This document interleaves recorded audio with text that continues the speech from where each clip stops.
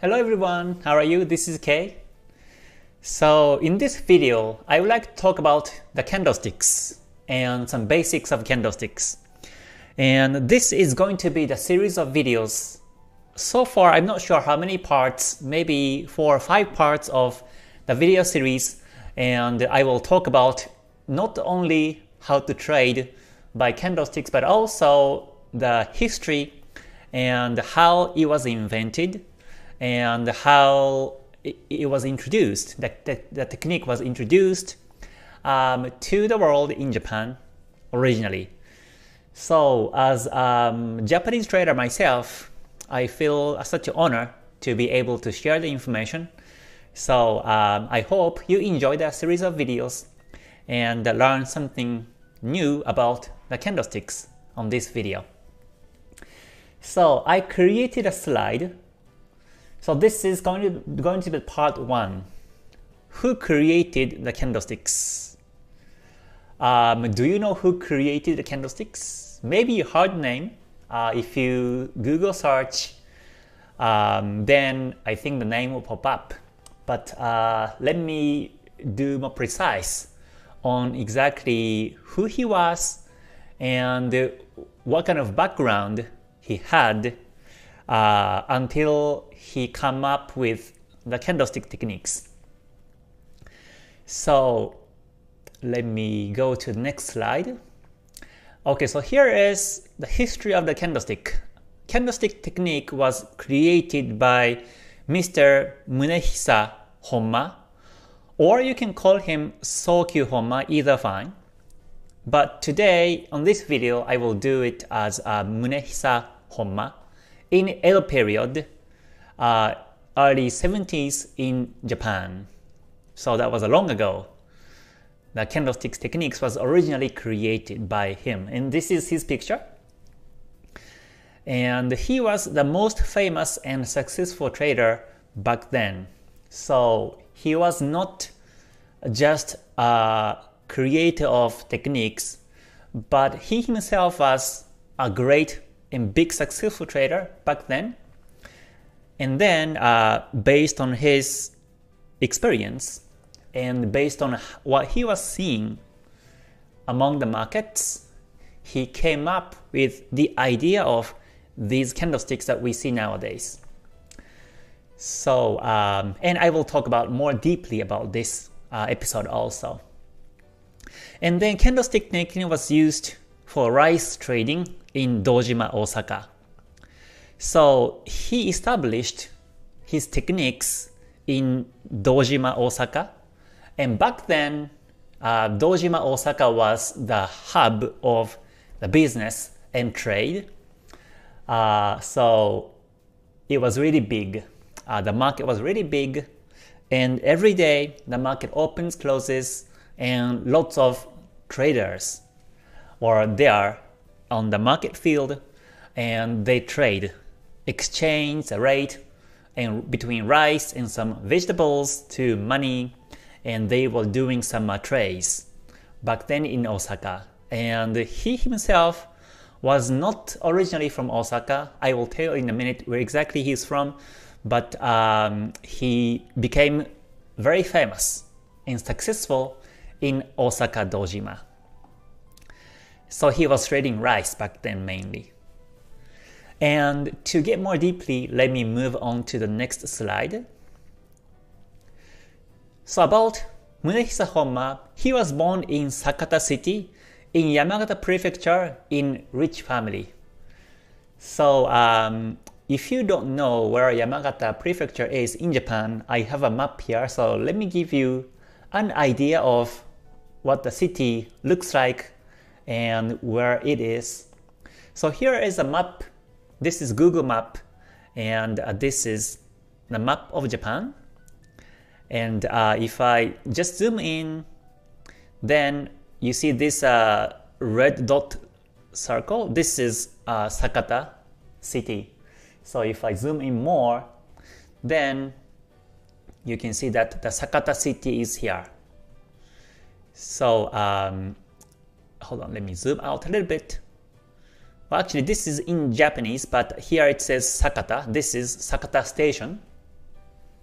And also, if I zoom in more and more, then you can see here, um, this is Honma family previous um, house.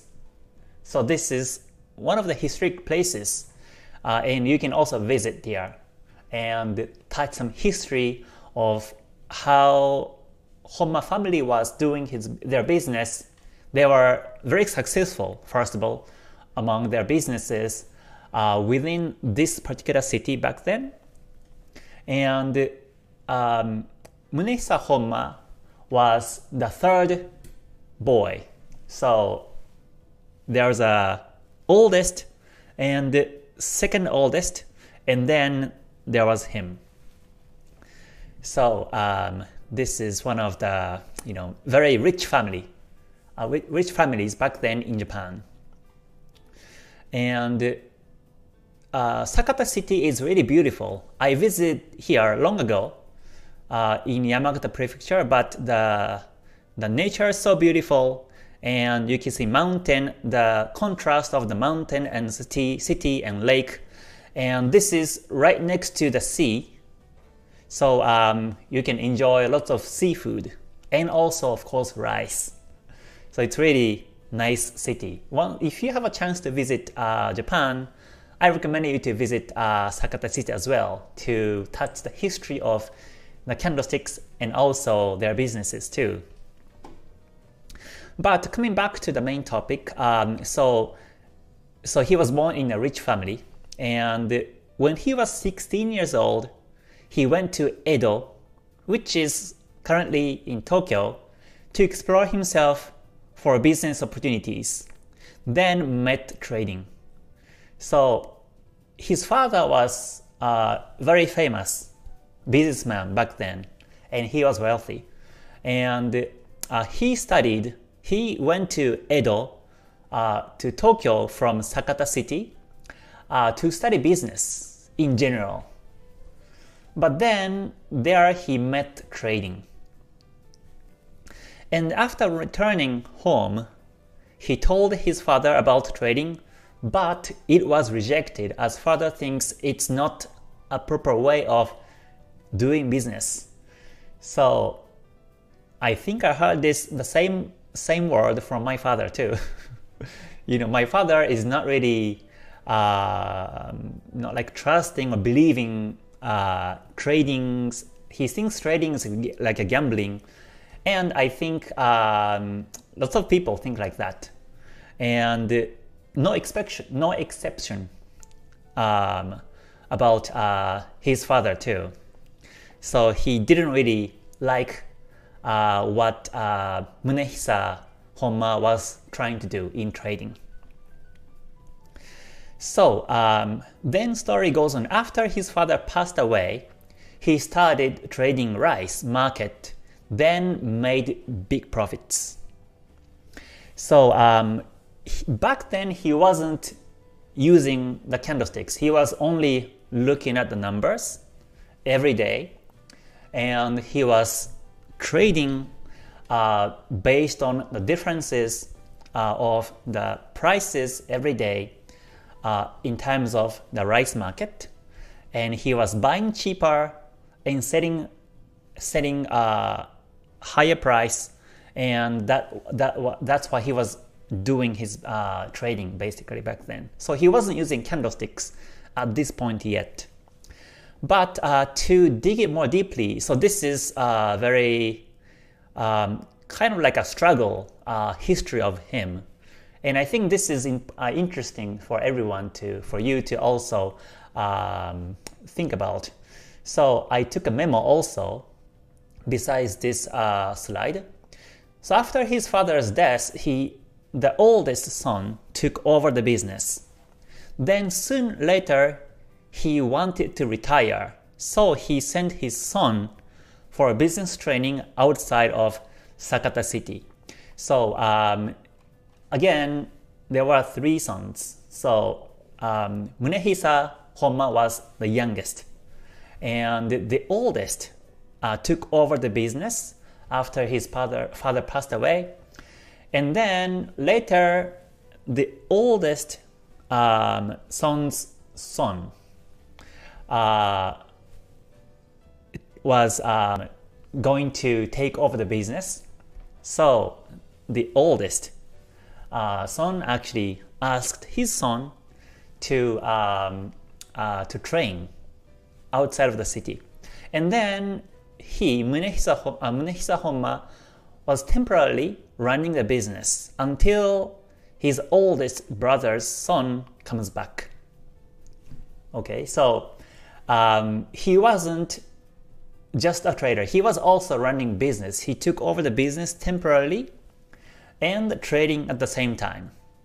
So he was sort of like a part-time trader back then, but he was still able to make huge profits.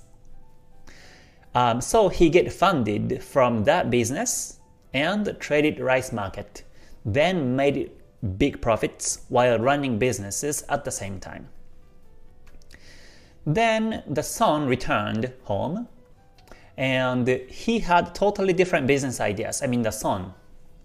The son had the totally different ideas um, from uh, Munehisa Honma and plans. So his son actually kicked out of Munehisa Honma from the business and also from the family. They were very uh, like fighting like each other. So they separated totally, completely. And plus, the son invested most of the asset Munehisa Honma has earned into public services. So Munehisa Honma was a trader also. So based on what he earns, he wanted to re- reinvest and make more profits. As we say nowadays, he wanted to compound the profits until it grows big enough so that uh, he can also explore uh, new business opportunities and maybe business in Osaka or Tokyo and some other cities. But uh, the, the son was against it and instead he invested most of the asset into public services in Sakata City. So just by hearing this story, I think um, uh, the son seems to be stubborn. But uh, I think uh, how I feel is that uh, I think the son and also his father uh, had love uh, towards the home city. So he wanted to contribute to the home city and also he wanted to preserve some historic places and trees and ocean. So that's how uh, his son was investing. But Munehisa Honma himself was an investor and he was more, um, he wanted more, he was uh, a trader and uh, he was more focused into trading and making bigger profits. So that's why um, they were not, you know, um, coming along. So then he went to, he means uh, so Muneshima Hon, uh, Honma went to Edo, Tokyo to do trading again, but he lost very big. So uh, he had some asset, of course, so he went to uh, Tokyo, but then he failed very big, and he said uh, he lost almost all his money. He got he broke, uh, he got broke, so um, he returned to Sakata City again. Then um, after get funded again, he went to Osaka, then made huge profits. And this trading uh, uh, experience or proof in Osaka made him so uh, famous. So, like I mentioned here, um, uh, then the biggest marketplace was in Osaka back then, Osaka was said that it's a kitchen of the world in Japan back then. So Osaka was the hub of a trade and hub of the businesses back then. So he went to Osaka um, with ambition and took another opportunity. Again, he made uh, successful profits, and it said, according to the uh, history, I have read some historic book and also looked up some uh, uh, articles on the library. And back then he made about 10 billion USD dollars. So that's how he was so successful. I mean, this is, I think, more than successful. So, um, yeah, so that's why he was very, very famous back then. So funny thing, funny thing is that because he was known as the most successful trader in Japan, and of course back then there is no PC, there is no phone, but almost all these, all the people in Japan know, knew about him. So uh, that's how famous he was back then. So funny thing is that um, there are some songs even about him. And let me introduce uh, two songs. Uh, the title title of the two songs, and one is uh, like here, um, songs about him, Shiny Sakata, Cloudy Dojima, Rain of Rice Drops in Edo. So he's originally from Sakata City. So uh, he makes uh, big returns to Sakata City. So it says Shiny Sakata and Cloudy Dojima. Dojima is a center of the trades. So every day people make profits and people make losses. So kind of cloudy Dojima and rain of rice drops in Edo. So the rice uh, uh, that was centered from all over Japan once uh, get, get together in Dojima and then they go different regions. And one of the biggest regions uh, was to Edo. So uh, in so Dojima from Dojima rice goes to Edo. So that's like the rain of rice drops in Edo. So um, this is one of the famous songs. I never heard this song before, but according to the article in library, it says like this. And second song that's famous was cannot be Honma-sama, but at least want to be Tono-sama, king of a country. So sama means like um, like sir or mister, or like when you meet some teacher or when you meet someone superior, then we say sama to someone in Japanese. So people uh, people thought, thought that the uh, you know I cannot be Honma-sama, but at least I want to be Tono-sama. Tono-sama means king of the country. So that's how famous he was. And I heard there are a couple of other famous songs about him.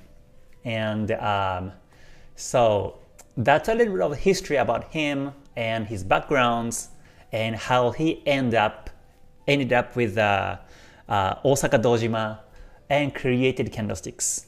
So Dojima was a place where he invented the candlesticks.